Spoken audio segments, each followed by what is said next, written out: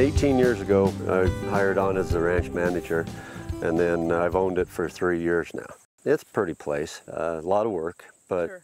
hard work gets you somewhere, I guess. So you produce uh, mostly uh, dairy quality alfalfa here. Yeah, that's our main goal here is to produce good quality so that the cows can be milked good and, and get the proteins up there where we need them to be. And in the dairy market, they change back and forth pretty rapidly, it seems like. It's just like one dairy guy told me, he says, Mike, if I don't feed really good alfalfa hay, I could lose $10,000 a month. So what, what makes your hay really high quality? What, what is it folks are looking for? Well, you know, you're just after a good product. I mean, you want the big leaf. We try to stay away from the hays that got the great big rough stems. Uh, it's like straw. We want to make sure that we put down the right fertilizer at the right time on the crop to get the maximum out of it. You got to have volume. You got to have the quality. Costs too much money to run a tractor across it. Uh, fuel, you think it's cheap right now, but it's still one of our biggest costs. Fertilizer is one of our very biggest, and then of course employees is the next. Um, I don't do this by myself, by no means. Takes a crew. You, you get two cuttings of hay up here in this area real easy. We need another 35 to 40 days to get really good third cut. There's years that there's a big challenge. The end result is try to put up the best hay we can. So you do nutrient testing on your hay, Yes. and we all know that uh, we know that the nutrients from, in the hay all come from the soil. So what are some of your soil management practices? Well, you don't want to overgraze so that you take and cut your field down to bare dirt.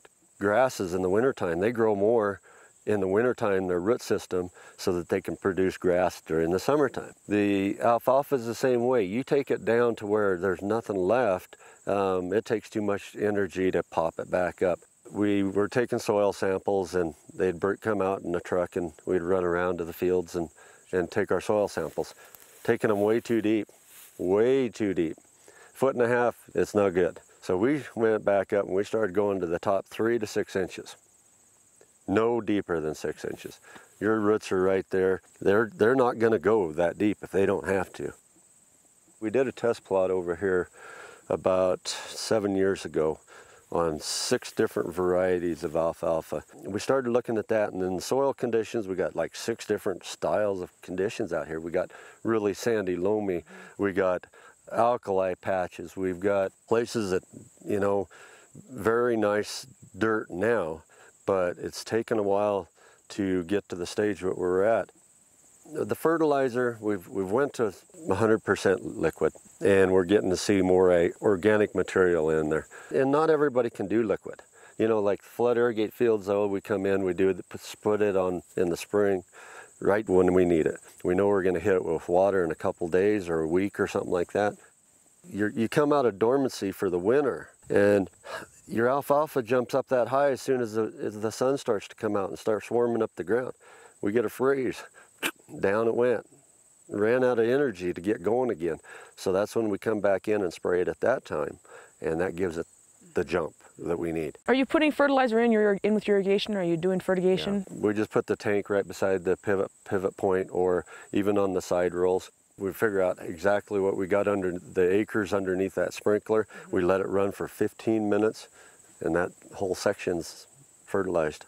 And the same thing with the pivots, you know, it works really good that way. Of course, the flood irrigates, then we got to come back in and respray right after second cut.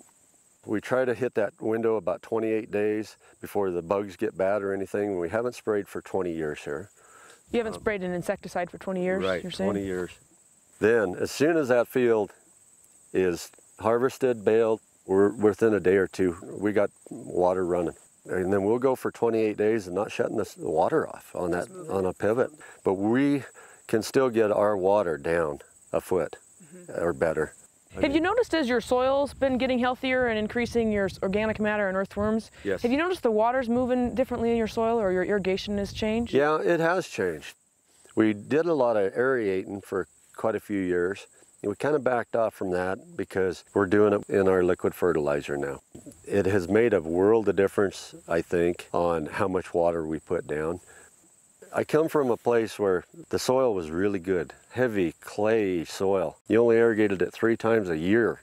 This out here, you never shut the sprinklers off. So now we get to shut the sprinklers off in between cuts and we're having to outrun our new growth coming back. That soil throughout the whole field is even. Before you could dig down after the water got done and you'd only be down to two inches. What we're finding out is we got lots more earthworms. You know, with the aphids and, and weevil and that stuff, we're not getting it. But we're, the reason why we don't really get them that badly here is because we cut early. We're taking that plant when it's healthy. Our soils were sandy and didn't have no organic material in them. By doing some of this no-till, we're only digging down maybe four six inches when we rip that stuff. And we're leaving our bugs at the top. You got to plow some things, don't get me wrong here. But we, when you take and plow really deep, you just throw all your good stuff to the bottom of the, the bucket. And then you got to rebuild all that. If you leave it up on top, your bugs are working for you every year. Before I was all year waiting for that hay to get ready to even go out and cut it. But we are definitely seeing a difference in the tons out here. Good hay is easy to sell. I love picky people, and our horse people are picky, but it also means that I got to be picky and don't send them nothing that they don't want. So walk me through a little bit more here, your, your general soil management. So you um, you have your fields in alfalfa or an alfalfa grass mix for several years. Yes. And then at that point, you'll, you'll rotate it out into a beardless barley. Yes. And then back into an alfalfa. Yes. Seeing like this field right here that we're standing by has got a lot of good grass in it. And we're going to come in probably this fall and we'll spray this. And we'll go across it once, come back in, hit it again. And then the next trip across, which we're only making three passes across it. Then we throw the grain drill right behind it and away we go. We'll put that beardless barley in early and I got cows so I want to feed that stuff to them. What motivated you to make some changes in soil management? Well, it was the man hours. You got plowing, uh, you got to go out and disc it, then you got to go out and roller harrow it, then you got to go out and land level it, then you got to go roller harrow it again, and then you plant it. It's less trips, saves me time, saves me money the way I look at it. And we're not plowing so deep and throwing that stuff way down there and having to start all over again. That's what makes sense So me. would you say your, your initial motivation was saving on some time and expenses, but what you found is the soil health's been improved, yes, and that's what's keeping get you going? my soils back into better condition. 20 years ago, it was not the prettiest soil you ever seen. Now I'm liking it. The healthier your soil is, the better your plants grow, the easier it is to take care of. Uh, were there some upfront costs for you in terms of investing in new types of equipment or, yeah, or changing anything that way? There is. I mean, you know, it's tough. How do you do it? The first year you go either buy one tool or something like that or rent it. Just by doing what we're doing here, it's going to increase the tonnage to where you can pay for that a little bit. Half a ton to the acre, add that up, over 160 acres, well, that just paid for some fertilizer big time. What kind of advice would you give to somebody who's wanting to make some changes or, or reduce their tillage maybe or change their fertilizer practices? Don't be scared of change, really. You know, we all sit there and say, oh man, I don't want to change. Everything's going good. and But you got to keep looking and looking and seeing what you're doing wrong. And When you drive by a field, don't just drive by it at 70 miles an hour. Stop and kind of look at it. Ask some of these guys around that have done it. Learn from their mistakes and what they would do and what they wouldn't do again. And you think, yeah, I don't want to look like I'm a dumb farmer or, you know, cow guy or whatever, but I'm not afraid to ask.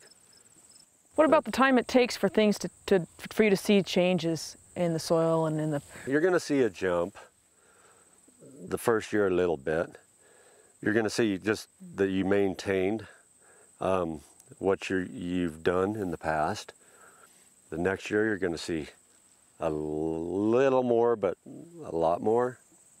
It's not a fast process. Don't think you're just going to jump in it today and be there tomorrow. You got to build them soils back up and get your soils back into the good health. Everybody that I've talked to and everything I'm seeing, it works. As a result, you're seeing fewer passes across the field, healthier soil, better water use efficiency, and a higher quality hay product in terms of more nutrient density. I am. I really am. I had a dream and I'm, I'm going to continue on. I'm not going to give up on my dream. It's a good change and I'm not going to stop